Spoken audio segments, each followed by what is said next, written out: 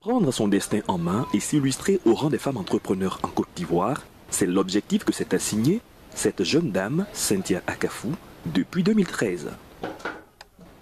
Et ce matin, quelques tâches ménagères sont prioritaires.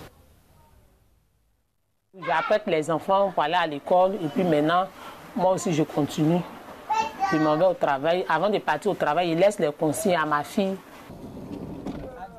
Il est l'heure, Cynthia prend le chemin du travail. Il faut les appeler. J'arrive, je suis vers Kenya là.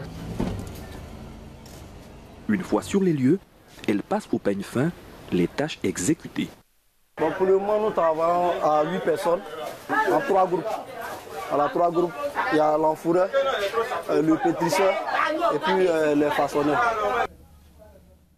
Comme tous les matins, son équipe de production est mobilisée en vue de satisfaire la clientèle composée en grande partie de revendeuses. Si on s'en sort, ça nous permet de pouvoir subvenir un peu aux besoins de la famille. Depuis 5 ans, je vends du pain. Je me promène dans les gares pour vendre. En tout cas, ça m'a beaucoup rapporté. Son activité économique, elle l'étend dans plusieurs quartiers et communes. La crise sanitaire qui sévit depuis plus de 5 mois n'a pas été pourtant sans conséquences pour elle. Les gens me demandaient où tu as payé pain? Ah, c'est moi-même je fais, que je suis dans tel coin.